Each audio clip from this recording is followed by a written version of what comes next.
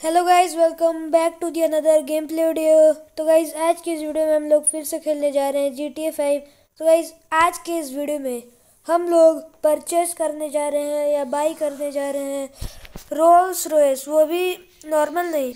Golden, pure golden Rolls Royce तो पहले तो मतलब जहाँ पे उसके शोरूम में चलते हैं, समझ गए?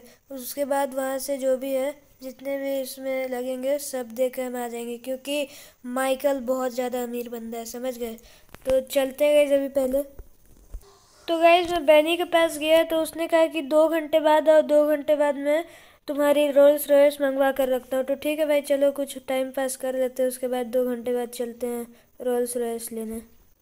गाइज़ दो घंटे बाद हम लोग आ चुके हैं अपने दोस्त बहनी के पास और वो कह रहा है कि हमारे पास मतलब तुम्हारी मतलब जो भी है रोल्स रॉयस आ चुकी है।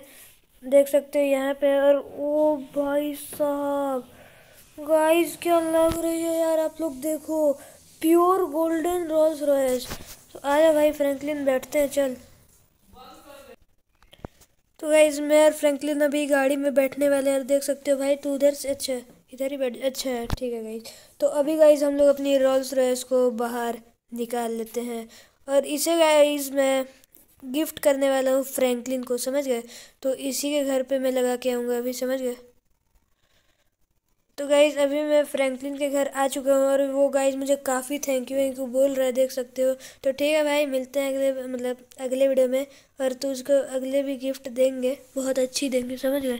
तो मिलते हैं अगले वीडियो में, तब तक के लिए बाय बाय पसंद आई वीडियो तो लाइक करना चैनल को सब्सक्राइब करना। Bye bye